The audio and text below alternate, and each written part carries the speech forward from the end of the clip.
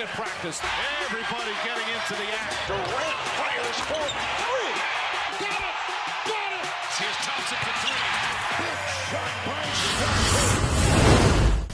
All right, back on game time, looking ahead to the 2018-2019 NBA season, which, by the way, is uh, less than two months away.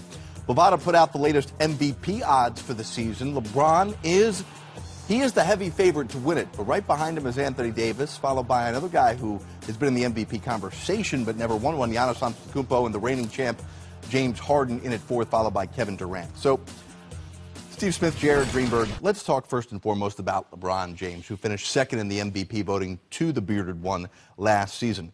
What do you think has to happen in this upcoming season with the Lakers and with LeBron's numbers for that quote unquote LeBron fatigue to go by the wayside and for him to win his fifth MVP?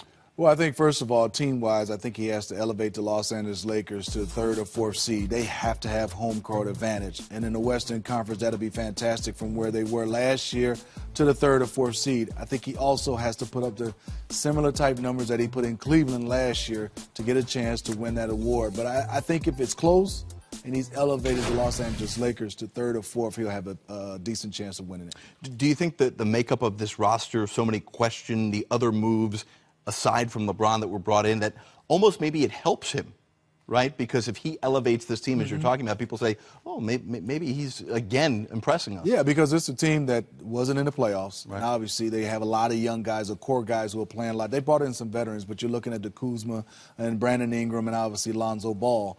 I think if he can get these guys playing at that level, which they're all talented, they're in the conversation of the third or fourth best team in the Western Conference, and he has those type of numbers, and he's elevate those guys, and they're exciting. He has a chance because he had a good chance last year. Just yeah. the James Harden numbers was phenomenal to go along with the wins with the Rockets. I will think the odds makers watching that list. I think Joel Embiid's, uh, Joel Embiid's odds should be a little bit higher. I think his numbers. Interesting. Just because he'll be healthy, and I think their win total will go up. There's no Cleveland. Right. I think they'll go up a slot. I think he'll be a little bit higher than what I saw on that board. Well, what about a guy who finished third in the MVP voting last year behind Harden and behind LeBron James, Anthony Davis, who got his team back to the playoffs? He's shown that he can be healthy for two consecutive seasons, playing 75 games each of the last two.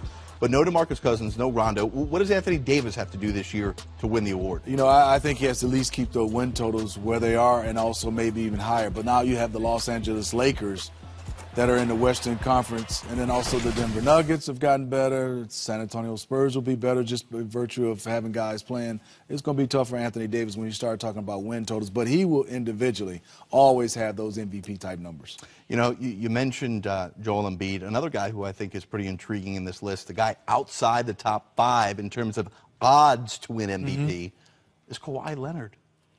You know what? We know he has the talent here. I just don't see it, the makeup of Toronto, Kawhi Leonard. Less there's something else. I think Kawhi will have a phenomenal year, especially in the Eastern Conference. But I don't know if he'll have those type of numbers and that type of system, because we don't even know what the system may be. And him getting familiar with a lot of guys, I don't know if he'll be that high.